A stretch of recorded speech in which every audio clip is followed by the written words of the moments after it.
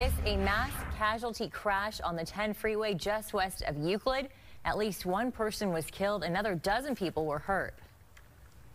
There are damaged cars on both sides of the freeway and both directions of the 10 are closed.